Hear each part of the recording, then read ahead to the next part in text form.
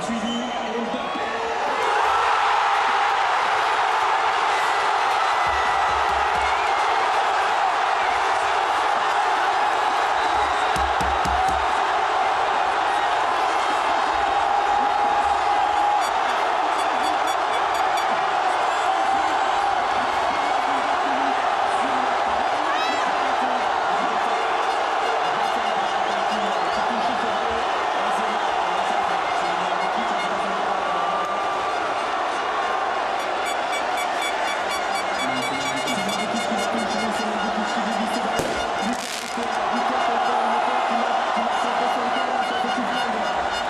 Antoine Griezmann,